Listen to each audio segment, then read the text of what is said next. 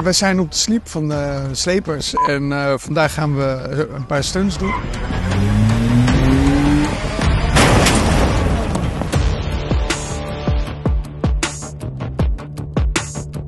Ik moest uh, sprints trekken.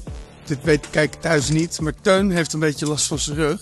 Maar Willem heeft er niks mee te maken, dus ik moest een sprintje trekken uh, naar de politieauto. Om te proberen die aanslag te stoppen.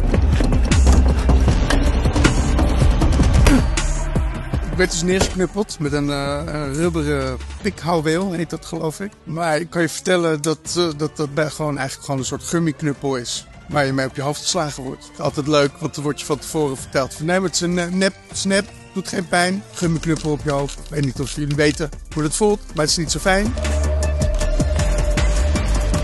En toen ging hij mij uh, slepen naar de kofferbak. Toen probeerde hij me aan mijn ballen in de kofferbak te tillen. Dat was ook niet zo heel erg fijn. Maar goed, ja, je, je bent de professional, dus je stopt de take niet. En, en dan hoop ik maar dat ze het hebben. Ik doe het best lang. Ruim 3, 4, misschien al 25 jaar. Maar ik heb dit nog nooit meegemaakt.